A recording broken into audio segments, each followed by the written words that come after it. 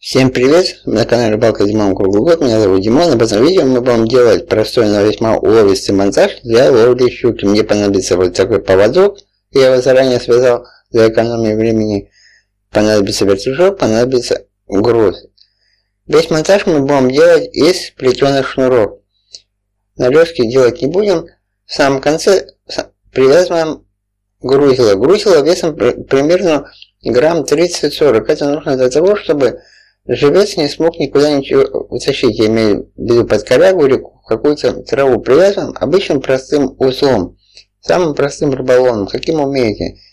Мудрить сильно ничего не нужно, не нужно здесь также ставить никаких вертлюжков, карабинчиков, просто привязываем грузик обычным, напомню, простейшим рыболовным узлом, каким умеете, каким можете и каким знаете. Для заливов затонов прудов этот монтаж не подходит. Подходит только для ловли на реке.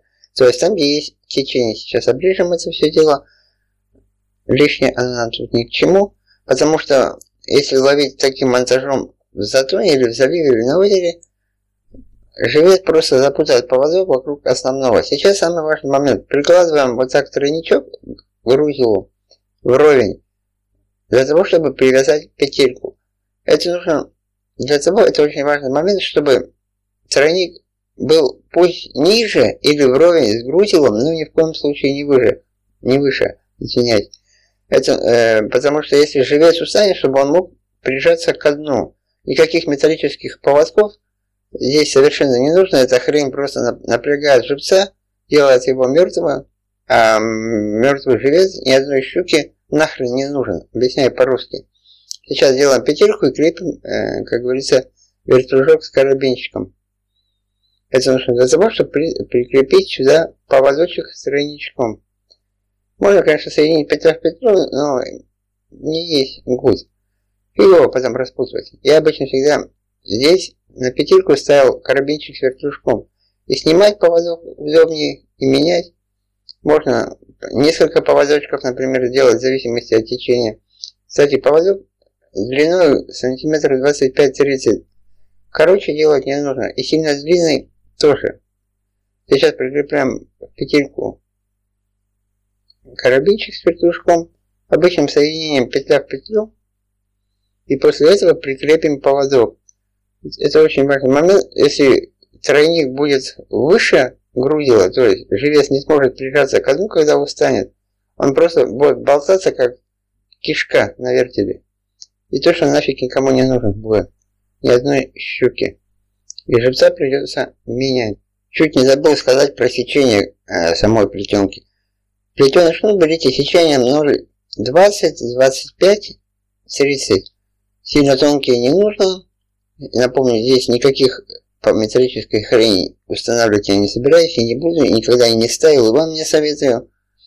А плетеный шнур сечением 0,2 или там 0,3 даже 5-килограммовой щуки очень сложно перекусить. Тупыми ножницами хрен перережешь.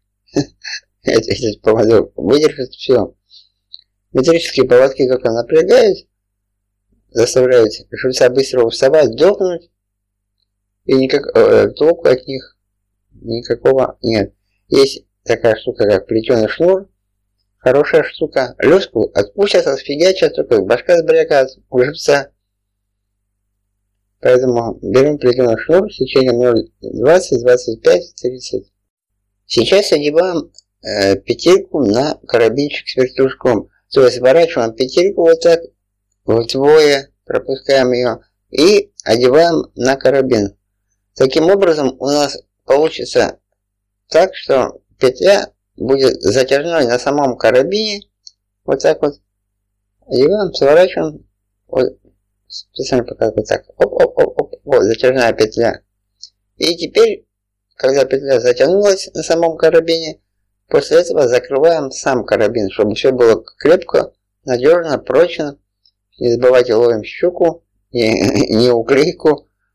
А в качестве сигнализатора поклевки я бы советовал использовать вершинку удилища. Вот у меня такая обработанная вершинка.